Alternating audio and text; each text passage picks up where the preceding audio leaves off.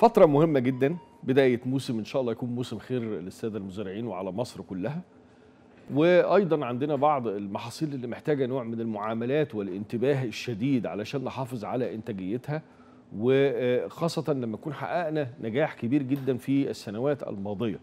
خاصة لما نيجي نتكلم عن الموالح والبرتقان وما تم من تطور في هذه الزراعة. فعلا تطور. لما أشوف الإنتاجية بتتضاعف عند المزارع وناس بتكلمني على 20 طن وأكتر و25 طن للفدان لما نيجي نتكلم على بعض المشاكل اللي حصلت والمزارع نجح إن هو يتغلب عليها لأنه قدر يتعامل معاها بالعلم وبتطبيق المعلومة الإرشادية السليمة.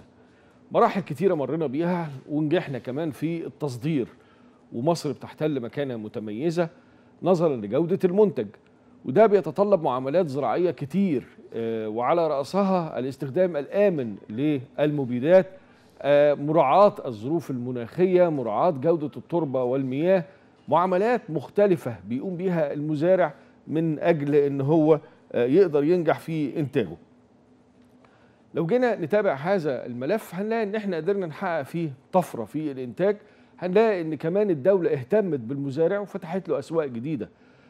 مصر في السنوات الأخيرة قدرت تدخل عدد من الأسواق ومن أهمها كمان سوق اليابان اللي ترجع أهمية السوق ده لمتطلبات الجودة اللي هو بيفرضها على الدولة اللي بيستورد منها وده في حد ذاته شيء مهم جدا. أنا معايا الدكتور محمود محمد الطناني رئيس قسم الموالح رئيس قسم بحوث الموالح سابقا بمعهد البساتين. برحب بحضرتك يا فندم. أهلا وسهلا بحضرتك أستاذ سامح واهلا بالسادة المشاهدين. طبعا أنا في الأول لازم أشكر حضرتك لأنك التواصل معانا ده شرف كبير. وأشكرك كمان على المجهود اللي أنت بتقوم بيه ليل نهار لخدمة المزارع المصري تاريخك العلمي واجتهادك وحبك للوطن فشيء نفتخر بيه كعالم من علمائنا. بشكر حضرتك يا دكتور محمود. أهلا وسهلا بحضرتك أستاذ سامح وإحنا كلنا في خدمة مصرنا الحبيبة.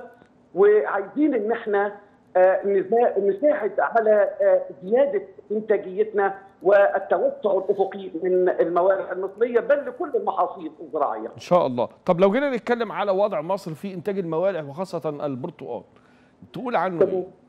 اولا حضرتك أنت تعرف تعلم سيادتك جيدا إن الموالح تعتبر المحصول الاستراتيجي الأول في مصر. ومحصول الفاكهة الأول من حيث المساحة ومن حيث الإنتاج. وإحنا طبعا نعتبر أحد مصادر الدخل القومي المصري الزراعي كمان إن الموالح تعتبر أحد ركائز صادراتنا الزراعية في الخارج وذلك لما تتمتع به من قدرة تنافسية وميزة نسبية عالية. وتعلم سيادتك إن إن البرتقال محصول البرتقال على رأس القائمة بالنسبة لمحصول الموالح إن إحنا طبعا نعتبر أو تعتبر مصر هي أولى دول العالم تصديرا للبرتقال وده لما يتمتع به من ميزة نسبية يا أستاذ سامح وقدرة تنافسية عالية تجعل له مكانة مرموقه بين الاسواق العالمية. الميزة اللي موجودة في إيه؟ الميعاد ولا التلوين ولا الطعم ولا إيه السبب إن إحنا بنتمتع بميزة نسبية؟ تمام، الميزة الموجودة في حضرتك إن إحنا الحمد لله أصبح منتجنا من الموالح تقريبا يكاد يكون خالي من متبقيات المبيدات السامة والمعادن الثقيله اللي هي معظمها بيتم من معايير الجودة اللي بيتم رفضها في سوق التصدير. دي من ناحية، من ناحية ثانية إن إحنا طبعا أصبحنا دلوقتي بنعمل حاجة جديدة ودي بقى لها سنتين أو سنة ونص تقريبا اللي هو التكويد والتتبع في مزارع الموالح المصرية. التكويد والتتبع. ال Egyptian traceability system إن إزاي نتتبع محصول الموالح بل معظم محاصيل الخضره والمحاصيل الحقليه ابتداء من زراعتها ثم إنتاجها ثم بعد كده خلال المراحل المختلفة لنموها وعدم استخدام وتقليل استخدام المبيدات عليها لحد ما يوصل المنتج للتعبئه ثم التوصيل إحنا وصلنا لإنتاجية قد إيه في الفدان؟ للمزارع النموذجية؟ المزارع النموذجية حضرتك هي 11 طن للفدان. 11 طن. كمتوسط. كمتوسط 11 طن للفدان. متوسط. لا بس أنا عارف إن في مزارع بتجيب لغاية 20 طن بس دول بيتظلموا بقى في ال... ده الكلام ده ينطبق على البرتقال. أبو سره آه. أما بالنسبة للبرتقال الصيفي في مزارع بتوصل من 25 ل 30 طن. أيوه. طيب. آه، وده طبعا يعني محصول محترم وممتاز جدا. يعني محصول الشجرة لوحده بيتعدى من في الحالة دي من 200 ل 250 كيلو جرام ما شاء الله. طيب لو نيجي نتكلم على التغيرات المناخية وتأثيرها على الموالح عموما هل. التغيرات المناخية تأثير على الموالح ولا هي أكثر مقاومة من المحاصيل الأخرى آه، طبعا الموالح حضرتك آه، تعتبر تعتبر آه، المانجو من محاصيل الفاكهة الحساسة جدا جدا للتغيرات المناخية. أكثر من الموالح شوية هي وبقية المحاصيل الأخرى تمام. أما الموالح فتعتبر آه، إلى حد ما لأنه طبعا آه، آه، آه، من محاصيل الفاكهه الاستوائية وتحت الاستوائية اللي هي ال tropical وال sub-tropical zone ولذلك تحملها برضه للصقيع بتتأثر هي بتتحمل لدرجة معينة ولكن لو انخفضت درجة الحرارة إلى درجة الصفر المئوي وما تحته هيحصل drop كبير للاشجار الموالح ولو حصل ده بالذات يا أستاذ سامح حضرتك وقت بداية التزهير وعقد الثمار الوقت الحرج الوقت الحرج. هو وقت التزهير وبداية عقد الثمار. تمام.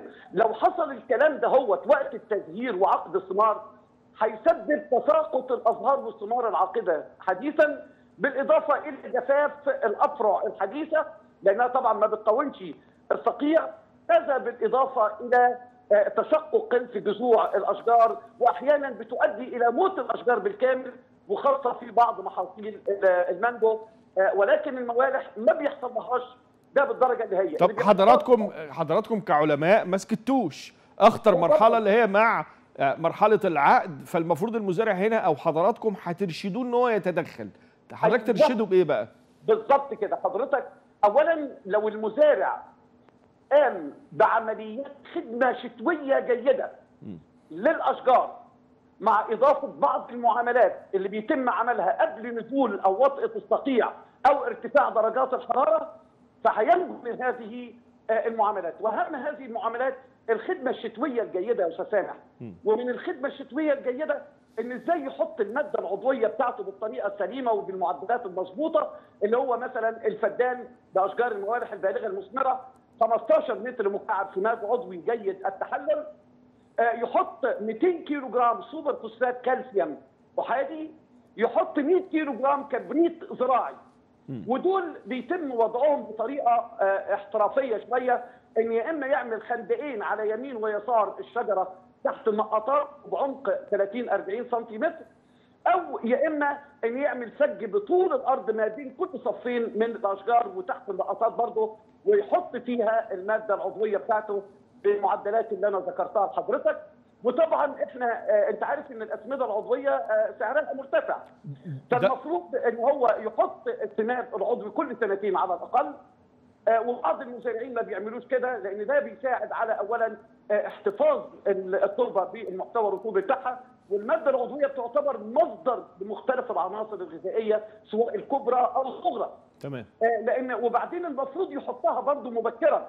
يعني كل المزارعين بيحطوها في شهر يناير لا أنا بنصح المزارعين ان يحطوا المادة العضوية ابتداء من شهر أكتوبر أو نوفمبر ليه عشان يدي. فرصة للمادة العضوية إن هي تتحلل وبالتالي بفعل ميكروبات التربة وبالتالي تدخل في آه، آه، آه، النموات الجديدة يعني اللي. هيضيف مادة عضوية المفروض دلوقتي إحنا في نوفمبر يلحق قبل ما. الشهر يخلص بالظبط وكل ما يحطها بدري كل ما يبقى أفضل عشان خاطر ميكروبات التربة تشتغل عليها ويدي فرصة لتحللها لحد عشان خاطر نموات الربيع الجديده تستفيد طيب. منها وبالتالي تساعد على مقاومة الظروف المناخية الضارة وخاصة درجات الحرارة العالية وانخفاض درجات الحرارة أو الصقيع. في أي نصيحة تحب تقولها للمزارع في هذا التوقيت بالظبط كده حضرتك م. أنا عايز أقول للسادة المزارعين بمجرد ما يتنبأ إن هيحصل ارتفاع شديد في درجات الحرارة وقت التذكير والعقد أو انخفاض شديد في درجات الحرارة لدرجة الصفر المئوي خلال هذه آه الآونة سواء في الشتاء أو آه، آه، قبل في موسم الربيع يرش الأشجار ببعض الأحماض الأمينية زي الحامض الأميني البرولين بمعدل 30 جرام لكل 100 لتر مية أو يرش. ببعض المركبات زي حامض السلسلك لأن ده بيساعد على مقاومة ال stresses سواء إذا كانت درجات الحرارة العالية أو آه، آه، آه، الرطوبة الجوية أو كل أو الملوحة أو غيره أو غيره أو نقص المية ده طبعا بيرش بمعدل 40 جرام لكل 100 لتر مية. تمام. وطبعا في معاملة أخرى برضو إن هو لو ما لقاش ال salicylic acid في حاجة اسمها سيليكات البوتاسيوم. لأن عنصر السيليكون بيساعد على مقاومة النبات لل stress أو للارتفاع والانخفاض في درجات الحرارة وهيحطوا حضرتك بمعدل 200 جرام لكل 100 لتر مية من سيليكات البوتاسيوم. تمام. أنا بشكرك. شكرا جزيلا دكتور محمود الطناني رئيس قسم بحوث الموالح سابقا بمعهد البساتين. شكرا جزيلا على تواصل حضرتك معنا.